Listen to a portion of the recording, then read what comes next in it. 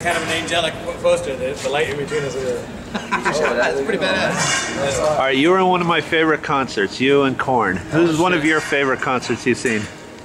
Favorite concerts I've seen? Ted Nugent. Ted Nugent? Did he shoot the arrow on stage?